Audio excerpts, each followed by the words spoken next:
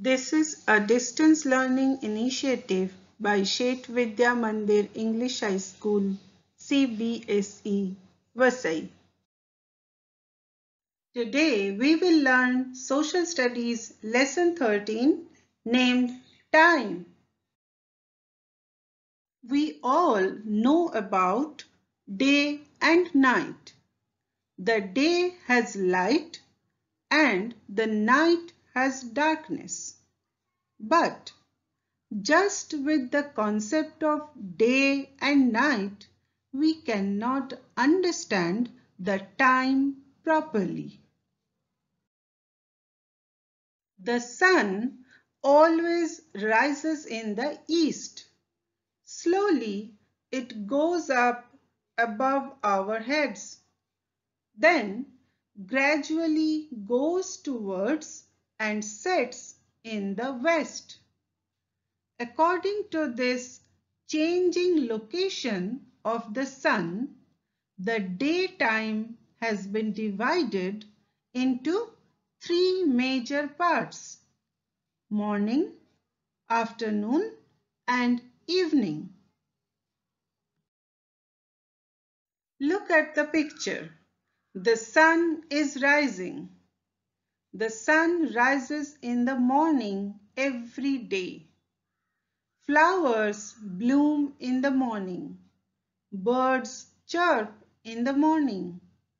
We get up in the morning, brush our teeth and have a bath. Then we have our breakfast and go to school. Students, do you know after morning, the sun slowly reaches a point above our heads. This time is called midday or noon. The watch shows 12 o'clock at this time.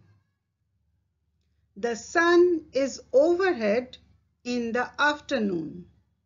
The breeze is warm during afternoon. At this time, it is very hot, especially in the summer. We return from school in the afternoon and have our lunch. After that, we take rest. The sun sets in the evening every day.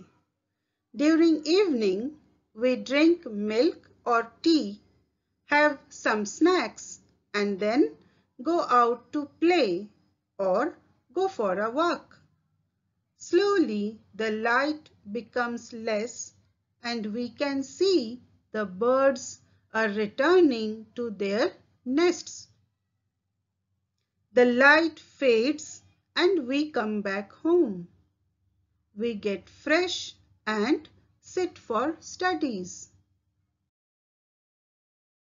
After sunset, it becomes dark everywhere.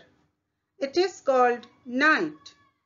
Night is the time between setting and rising of the sun. The stars twinkle in the sky at night. Also, we can see the moon during night. We have our dinner at night and go to sleep. The breeze is cool and pleasant at this time. We are in a deep sleep at midnight. The watch again shows 12 o'clock at midnight. Everything is quiet at this time. Students, there are 24 hours in a day. Generally, we have around 12 hours daytime and around 12 hours night time. Looking at the positioning of sun during daytime, we can have a general idea about the time. However, a clock or a watch gives us the accurate time time is divided into hours, minutes and seconds. There are 60 seconds in a minute and 60 minutes in an hour. Children, time flows like a river. We cannot stop the time. It flows only forward and does not come back. So, time is an important factor in our lives and we should use time properly. That's all for now.